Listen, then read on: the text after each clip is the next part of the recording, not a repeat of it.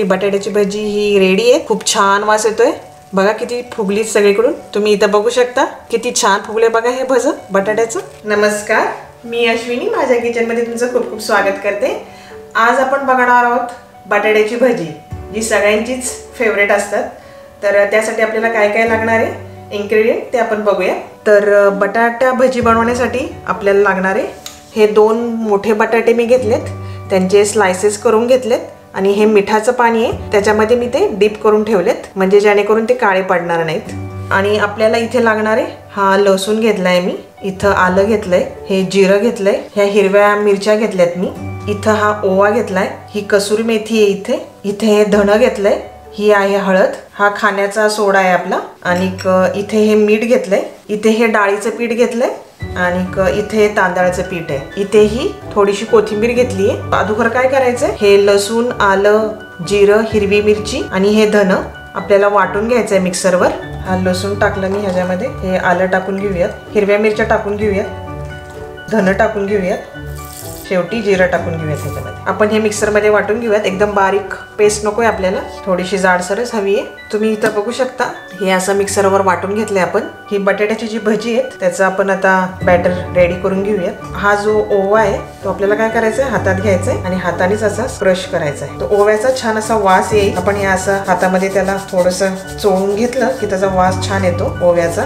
कसुरी मेथी आहे ती सेम आपल्याला हाताने अशी चांगली चोळून घ्यायची आहे. छान वास येतो तिचा.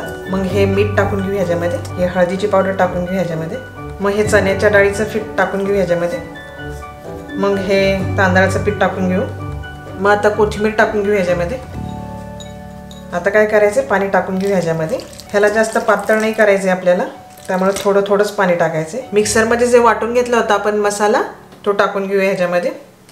आणि छान मिक्स करून घेऊयात आता ह्या बॅटरमध्ये ते. शेवटी हा जो खाण्याचा सोडा आहे तो आपण टाकून घेऊ ह्याच्यामध्ये. छान हलवून घ्यायचे.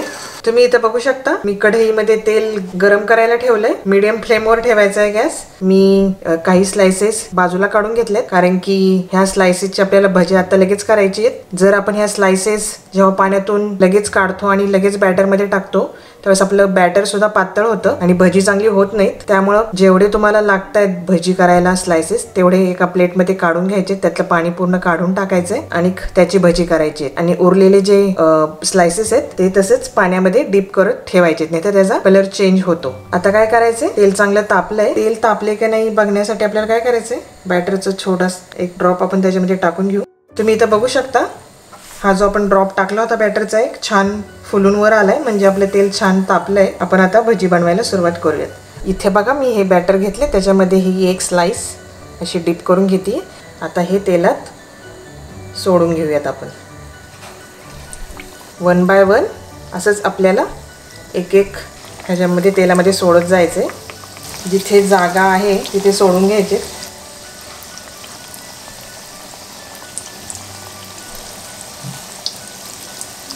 आता आपण पलटी करून घेऊयात भजी. हलवून झालेली दिसत आहेत ती. खूप छान वास येतोय भज्यांचा. तुम्ही बघू शकता भजी चांगली टम फुगलीत आपली. तेल चांगलं गरम असलंच पाहिजे. तेव्हाच अशी बटाट्याची भजी छान फुगतात चण्याच्या डाळीच्या पिठाबरोबर आपण तांदळाचं पीठ पण टाकलं आहे त्यामुळं काय आहे? खूप कुरकुरीत लागतात क्रिस्पी लागतात ही भजी. भजी झालेली आहेत आपली. आपण एका प्लेटमध्ये काढून घेऊयात त्यांना. ही बटाट्याची भजी ही रेडी आहे. खूप छान वास येतोय. बघा किती फुगली सगळीकडून. तुम्ही इथं बघू शकता. किती छान फुगले बघा हे भज बटाट्याचं. आपण एका प्लेटमध्ये काढून घेऊया. तुम्हाला जर माझ्या रेसिपीज आवडत असतील तर माझ्या चॅनेलला सबस्क्राईब करा लाईक करा. आणि हो बेल आयकॉनवर प्रेस करायला विसरू नका.